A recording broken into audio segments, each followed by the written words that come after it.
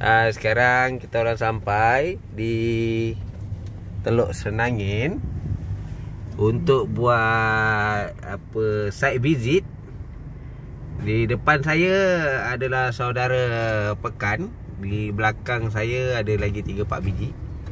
Welcome to Teluk Senangin. Ya Ini kawasan masuk. Uh, Ingatlah ya. Tengok keadaan jalan semua oh, Ada orang berniaga Ada parking So ada laut kat sana Macam mana? 158. Apam balik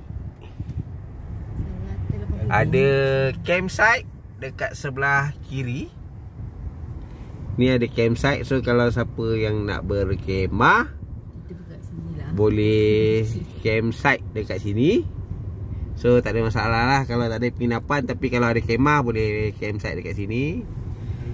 So dekat sebelah-sebelah ni jangan risaulah kedai makan tu banyak. So tak ada masalah. Kita bergerak. Ha, laut terus ke sini. Sebelah sana ha, ini masuk ke dalam lagi lah. Pergi ke mana tadi? Ke mana? Senangin sea view. Sekarang. Ah kita tengok ah ni keadaan dia lah. Laut biru bai. Cantik tu. Ah. Okey. Macam saya cakap tadi, kedai makan semua banyak kat sini. So tak ada isu lah kalau nak makan. Ada kacang rebus, ada cakwetiau, ada air kelapa muda, nasi campur, ada baju. Ha, macam-macam lah. Ya. Yeah. Okey, kita ke depan terus. Nanti sampai tempat kita ambil gambar. Okey, yang ini untuk Senangin Sea View. So dia punya facility semua ada dekat dalam. Kawasan dia luas. So tiga penempatan ni Senangin Sea View, Ilham dengan yang saya bagi tahu tadi dia sebaris. So ada tiga lah. Kalau tengok keluasan dia tu memang luas. So untuk tiga-tiga ni kita dah book lah. Uh, Nombor satu Senangin. Nombor dua Ilham. Dan nombor tiga tu yang tadi lah. Tiga-tiga ni kita dapat. Okay parking dia dekat sebelah sini. So nanti kereta semua akan parking kat sebelah sini lah.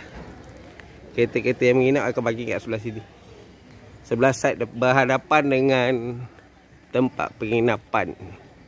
Uh, Assalamualaikum. Yang ini untuk Sikin Villa So untuk Sikin Villa ni dia ada swimming pool kat dalam ni. So ni lah dalam dia. So tempat dia untuk yang datang ambil Sikin Villa tengok dia punya view lah. Ni view untuk Sikin Villa. Okay. Assalamualaikum. Hari ni kita nak review untuk villa anak desa. Kita dah sampai kat sini. Ni port dia. Port dia dekat sini lah. Kalau tengok dekat kawasan dalam dia ada banyak bilik.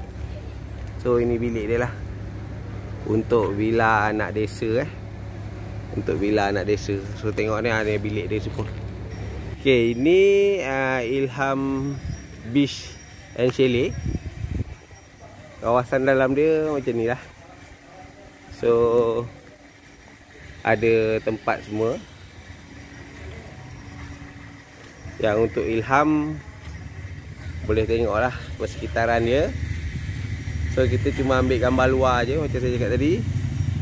So nanti apa-apa kita akan maklum balik lah.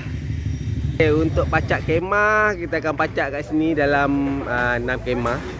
Dalam meja senang sebab sebabnya kemah kita kena letak dekat sini dia berhadapan dengan tiga chalet ni lah. Natalia, Natalia Beach Resort uh, antara chalet-chalet yang kita sewa lah. So kemah kita letakkan di bahagian sini.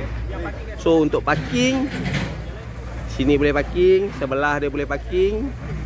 Dekat depan ni boleh parking. Untuk acara sukan neka dan sukan pantai kita akan buat dekat sini ya. So inilah pemandangan pantai Teluk Senangin. Kita boleh tengok daripada hujung sana sampai ke hujung sana. Anak-anak boleh mandi dekat sini. Ha ni nampak ni. Tengah mandi, tengah mandi. Ah, dah habis kan? Oh. Ha? Apa apa? Aduh, Dion. Aduh. Ah ni tengah mandi, tengah mandi semua.